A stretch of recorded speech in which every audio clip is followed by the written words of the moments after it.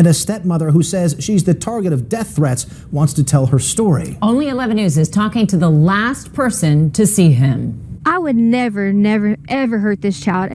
Rampant online speculation has centered on Tecia Stauch since Gannon disappeared from a neighborhood east of Fountain on Monday. 11 News reporter Catherine Silver is there live now. Catherine, the sheriff's office has not named any suspects or even confirmed that they're considering foul play.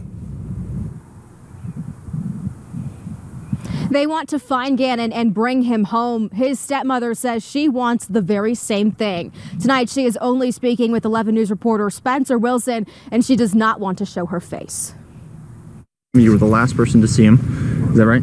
Correct. Tecia Stauch has avoided the public eye since her 11 year old stepson vanished. The rumors have gotten so bad. So I'm like, why are you saying Gannon is dead? He is not dead. We are going to find Gannon. She says she took Gannon hiking at Garden of the Gods Monday. You know, there was comments about Gannon getting pushed off the hike, and there was comments about this, and that's just not true. The two ate at Burger King afterwards, then went home. And then it was just, uh, I'm off to go to plans at a friend's house. Unfortunately, I'm not able to like comment on that anymore, and for that reason is because some things have been turned and twisted. Investigators and volunteers are actively searching for the 11 year old near his neighborhood where he was last seen.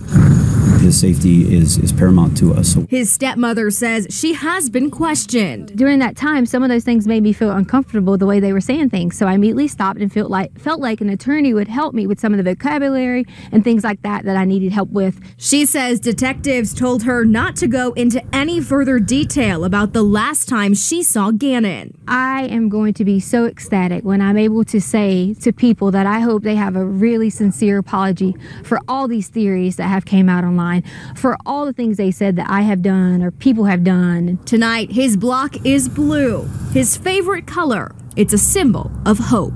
We should all come together and wait until the end and, and see what happens. His stepmother says she has hope. He will come home. We love you and miss you, and we hope that you come home soon.